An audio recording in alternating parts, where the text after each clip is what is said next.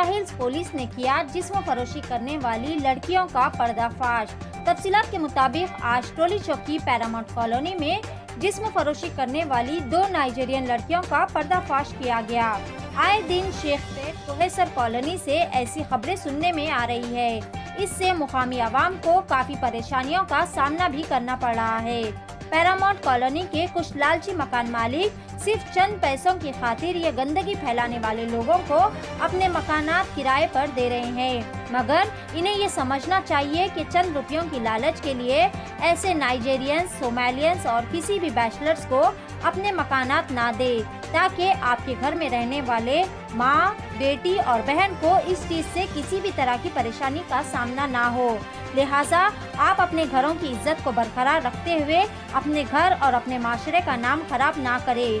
Police ने इस घर पर दावा करते हुए दो नाइजीरियन लड़कियों और दो लड़कों को भी गिरफ़्तार कर लिया और इनके कब्जे से एक मोटरसाइकिल को भी जब्त कर लिया। लेकिन जो यहाँ पे जो औरतें हैं वो बाहर के जो है कौन सी कंट्री के है सोडानी से काले लोग आए हैं। नाइजीरिया के कुछ नाइजीरिया के पता नहीं कहाँ के हैं और आके जो है यहाँ पे धंधा कर रहे हैं और अपने माशरा जो बर्बाद कर रहे हैं। मुसलमान बच्चे या हिंदू बच्चे बहुत सारे काफ़ी लोग आ रहे हैं यहाँ पे। सुना आप। ये कब से रहता अभी थोड़े दिन पहले दिए उन्होंने, किराए से। इससे पहले केरला के बच्चे थे, वो केरला के बच्चे मुसलमान थे, उनको निकाल दिए। और किराया बढ़ाओ बोल के बोले तो बोला कह रहे निकाल के कहीं और चले गए। लेकिन यहाँ पे जो है, अब जो है, काले लोग आ गए, और काले लोग आके यहाँ पे फ़ोन के ज़रिए से लोगों से रब्त करके, और आके यहाँ पे धंधा वगैरह कर रहे हैं साहब। सुना आप?